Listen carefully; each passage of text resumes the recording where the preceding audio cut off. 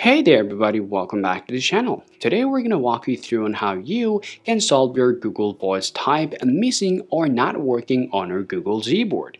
Now Google Gboard is a kind of default keyboard for most Android users, but now if you see this URL, I know the voice typing option is completely missing, then you need to watch this video. If you take a look at this option here, also we don't have these features available now, but after doing all the process, you can see now the features got back to the keyboard again. Now if you want to solve the problem, the very first thing that you want to do is simple, just go ahead and open up your settings on your Android devices. From here, just scroll down here and simply choose General Management. Tap on there.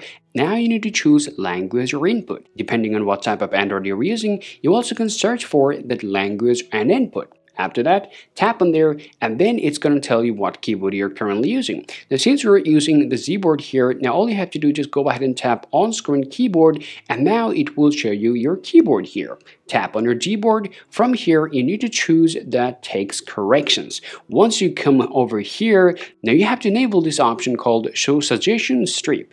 And now all you have to do is just go ahead and force close your uh, all those things that you have on your background and now just simply go ahead and just try to type anything and then you will be able to see that option is now appears.